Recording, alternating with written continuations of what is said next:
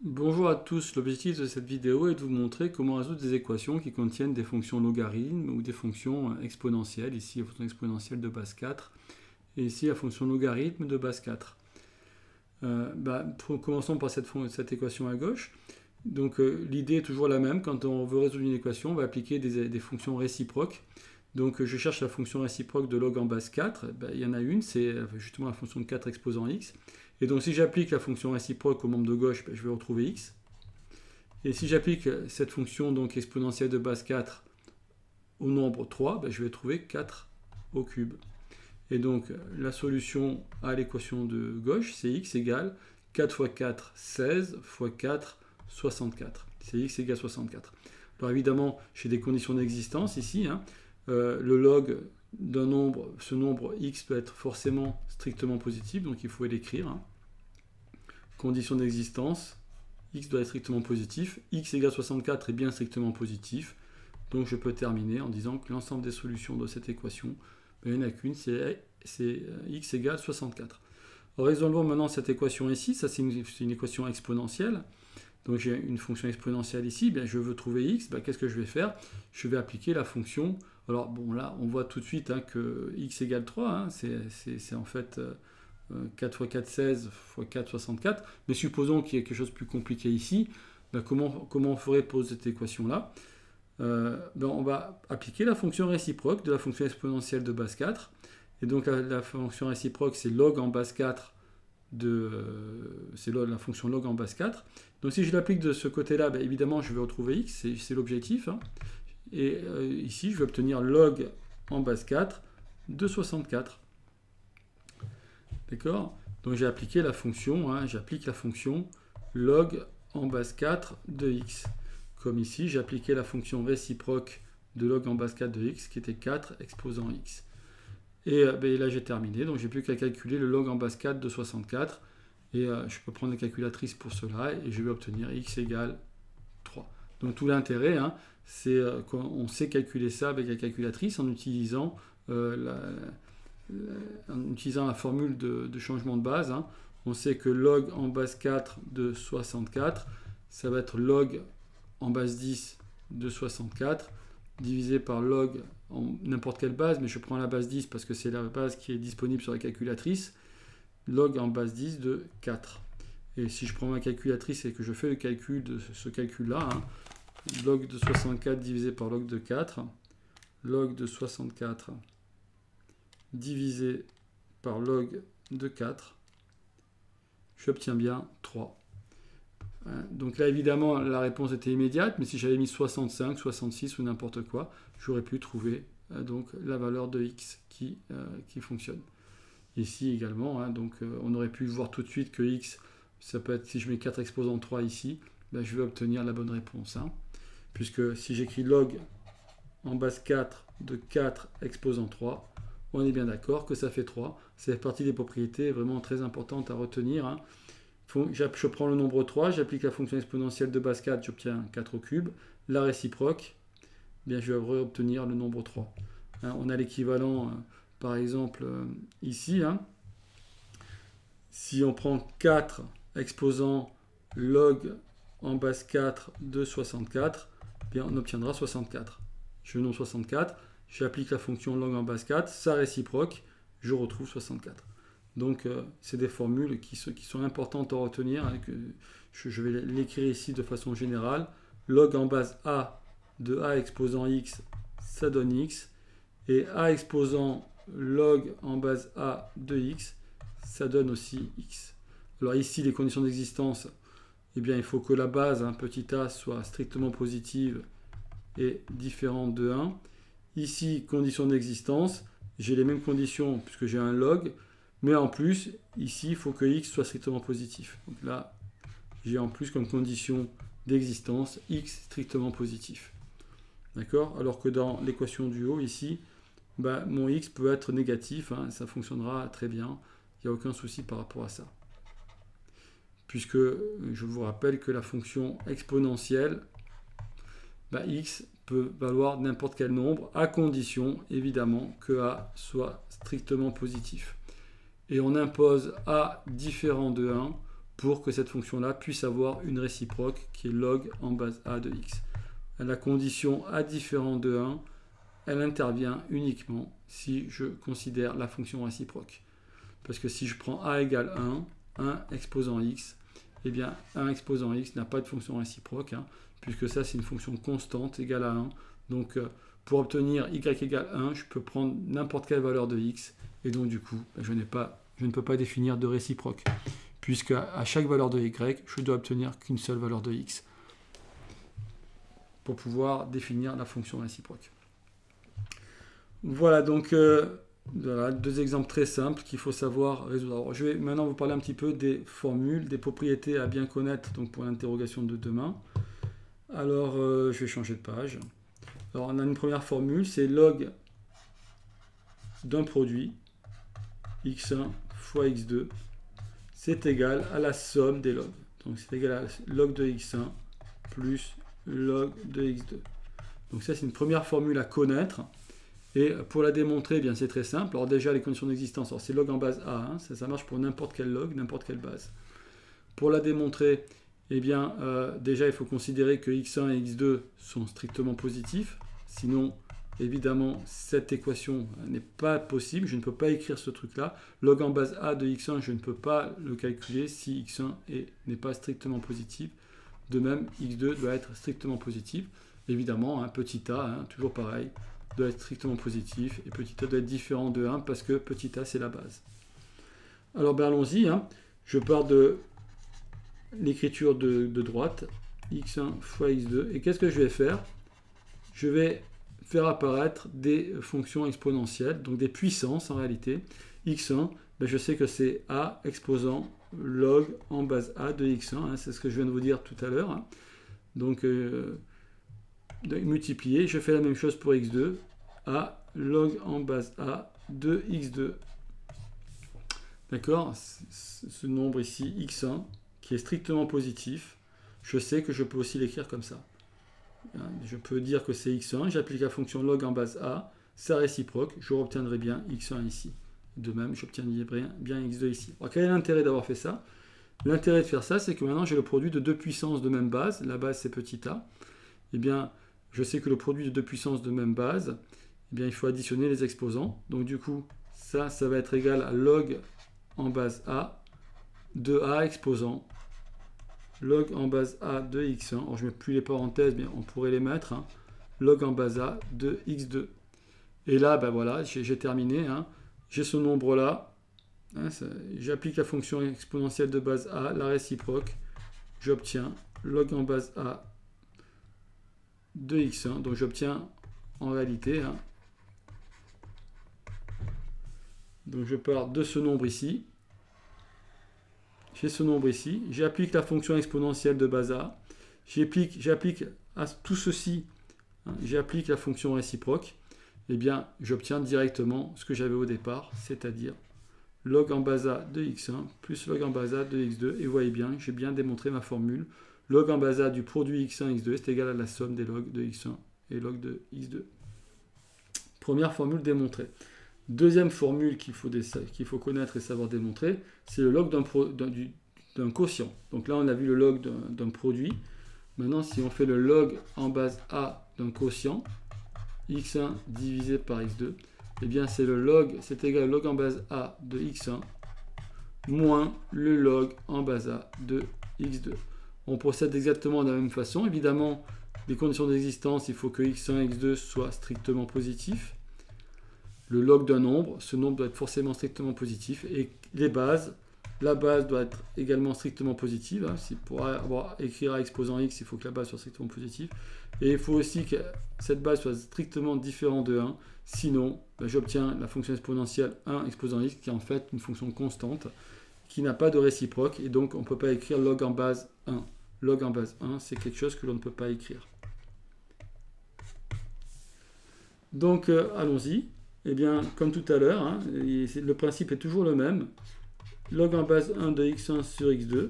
Je vais réécrire x1 sous la forme a exponentielle log en base a de x1. x2, je vais l'écrire sous la forme a exponentielle log en base a de x2. Et là, ben, j'ai le quotient de deux, de deux puissances de même base. Hein. Donc ça va être égal. Je, peux, le faire en deux fois pour aller, pour aller. Ça fait une petite révision aussi. Ça fait a log en base a de x1. Et 1 sur log en, 1 sur a exponentielle, bien je peux, mettre une puissance de base a ici. Je peux la faire monter en haut, cette puissance ici. là. Hein, cette puissance, ce nombre-là, qui est une puissance de base A. Je peux l'écrire sous forme d'une puissance de base A, mais en la mettant au numérateur. Et donc, il faut changer le signe de l'exposant, tout simplement. Hein. Donc, ça va faire moins log en base A de x2. Hein, donc, euh, ce, truc-là, voilà. Donc, ça, c'est important. Hein. Si j'écris 2 exposants moins 1, c'est la même chose que 1 sur 2. Si j'écris, par exemple, 4 divisé par 3, c'est la même chose que 4 multiplié par 3 exposant moins 1. D'accord? Ou si j'ai pris écrit ici exposant 5, ben, ce sera exposant moins 5. Ça va? Et alors maintenant, ben, je, reviens donc sur quelque chose de connu, hein, produit de puissance de même base, j'ajoute les exposants, sauf que là, ça va donner, donc, euh, donc ça va me donner A, exposant, log en base 1 A de x1, moins log en base A de x2. Ça va? Donc j'ai transformé ce produit-là, hein, produit de deux puissances de même base, et eh bien ça ne fait qu'une seule puissance, et les exposants, c'est la somme des exposants, et donc là la somme, c'est ce nombre-là plus ce nombre-là qui est en fait un nombre négatif. Hein, donc, euh, mais encore une fois, on aurait pu directement hein, passer de euh, ce, ce truc-là directement à ça normalement, ça ne devrait pas vous poser de problème. D'accord? Puisque l'exposant qui est là, ben, il va devenir négatif quand je vais euh, remonter ce nombre au niveau du numérateur. Et après, donc, je devrais euh, rajouter, donc, enlever log de A de x2 ici pour obtenir une seule puissance. Et alors maintenant, ben, c'est terminé. J'ai ce nombre-là. J'ai le nombre ici, hein, donc euh, cette différence de log. Je lui applique la fonction exponentielle de base A sa réciproque, bien je réobtiens le nombre de départ qui est donc log en base A de x1 moins log en base A de x2 et j'obtiens donc bien la formule que je voulais euh, démontrer tout simplement. Donc une fois qu'on a compris le principe, c'est relativement simple. Alors faisons, la troisième propriété à savoir démontrer, c'est euh, donc euh, le log d'une puissance. Si par exemple j'écris log en base A de x exposant petit r, ben, c'est égal à r fois le log en bas A de petit x. Alors pour démontrer ça, ben, déjà les conditions d'existence, toujours pareil. Hein. A doit être strictement positif, A doit être différent de 1. x exposant r doit être strictement positif, d'accord Mais là, on va pas s'embêter. Et, comme on a ici aussi uniquement x, ben, en fait, il faut que x soit strictement positif. Hein. Donc, une condition encore plus restrictive, qui est x strictement positive à cause de cette écriture ici. Et euh, évidemment, il y a un x positif. Donc je lui applique une, un exposant, ça restera quelque chose de euh, positif. Donc on, va, on aura évidemment, si x est strictement positif, on aura x exposant r qui est également strictement positif. Et donc ben, comment on fait ça? Ben, On part donc de l'écriture de gauche. On fait comme on a fait précédemment, on va remplacer x par a par une, une puissance, A log en, base A de x, et tout ça exposant R. Hein, vous êtes bien d'accord que le x qui est ici, je peux l'écrire comme ceci. A de log en base A de x. À condition évidemment que x soit strictement positif. Hein. Et donc, qu'est-ce que je vais obtenir Égal log en base A, de entre parenthèses, donc une puissance d'une puissance, je peux multiplier l'exposant. Donc ça fait A fois, donc exposant log en base A de x, le tout fois petit r, d'accord? Donc puissance d'une puissance, je multiplie les exposants. Donc c'est A exposant ce truc-là, et donc pareil, j'ai encore ce nombre-là, entre parenthèses en vert ici, je lui applique la fonction exponentielle de base A, sa réciproque. Donc j'obtiens tout simplement égal à log en base A de x fois petit r. on préfère écrire le petit r devant. r multiplié par log en base A de x. Et comme ça, on n'est pas obligé de mettre la parenthèse autour du x. Voilà. Eh bien, eh bien cela euh, clôture en réalité euh, ce que vous deviez, devriez savoir sur les démonstrations des propriétés. Alors, il y a une troisième propriété qu'il faut connaître. C'est une quatrième propriété qu'il faut connaître, c'est la formule de changement, de base. Log en base A de x est égal à log en base B de x fois sur divisé, divisé par log en base B de petit a. Alors, cette formule-là, on va l'utiliser essentiellement pour calculer des logarithmes, par exemple en utilisant la calculatrice. Hein. Par exemple, si je vous demande de calculer log en base 5 euh, de 17, euh, eh bien, pour trouver ce log, pour calculer ce log en base 5, on va utiliser les logs en base 10 parce qu'ils sont disponibles sur la calculatrice. Et on va calculer le log de 17 en base 10 divisé par le log de 5 en base 10. Donc on utilise la propriété des changements de base pour pouvoir calculer le log en base 5 de 17 et on va obtenir, donc si on calcule ça, on obtient log de 17 divisé par log de 5, ça nous donne environ 1,76 1,76 environ. D'accord? Donc il y a un 0 après derrière, donc euh, je arrondi à deux chiffres après la virgule, donc je garde plus que le 7 et le 6. Alors, ça veut dire quoi Ça, si j'ai log en base 5 de 17 qui est égal à 1,76, hein, imaginez que vous avez ça. Log en base 5 de 17 égale 1,76. Ça veut dire qu'en appliquant la fonction réciproque de la fonction log en base 5, c'est la fonction exponentielle de base 5, ça veut dire que 17, c'est 5 exposant 1,76 à peu près. On peut vérifier. Hein.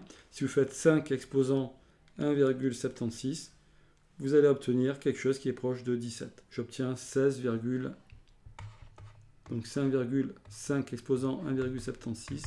J'obtiens 16,987, ainsi de suite sur la calculatrice. Vous voyez, donc évidemment, je n'obtiens pas exactement 17 parce que bah, le résultat de, ce, log n'est pas exactement égal à 1,76. Il y a encore des chiffres après la virgule. Et donc, euh, voilà, tout simplement. Alors, cette formule, je ne demande pas de la démontrer, mais s'il fallait la démontrer, bah, c'est tout simple. Hein. On veut calculer log en base A de x, donc on va poser que y est égal à, log en base a de x, donc on va calculer y.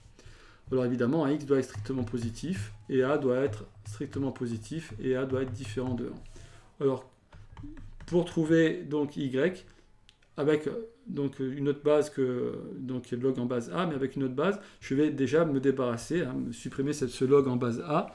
Et pour supprimer le log en base, A, en base A, ben, on sait très bien ce qu'il faut faire. Il faut appliquer la fonction réciproque de la fonction log en base A, c'est-à-dire la fonction exponentielle de base A. Et donc ça, c'est équivalent à A exposant à Y égale X. Une fois que j'ai ça, il faut que je fasse apparaître le log en base B. Donc je vais, appliquer de chaque côté la fonction log en base B. Donc j'obtiens que log en base B de A exposant Y est égal à log en base B de X. Hein. J'applique simplement la fonction log en base B de chaque côté de cette équation. Ensuite, bah, je vais obtenir, j'ai un log d'une puissance. Je sais, je viens de voir hein, qu'on peut mettre l'exposant donc euh, devant. Hein. C'est la troisième propriété, la troisième formule qu'on vient de démontrer. Donc ce que j'ai à gauche ici, ça s'écrit encore y fois log en base B de A. Et ça, c'est encore égal à log en base b de x. J'ai juste modifié l'écriture du membre de gauche. Et eh bien là, j'ai terminé. Je vais isoler y. Et y, c'est ce que je cherche. C'est log en base a de x. J'isole le y et j'obtiens que y est égal à log en base b de x divisé par log en base b de a. Ce qui est bien la formule que je veux démontrer, puisqu'encore une fois, y, le y est ici, c'est tout simplement log en base a de x. Voilà, donc... Euh, on démontre ici les propriétés des logs à bien connaître.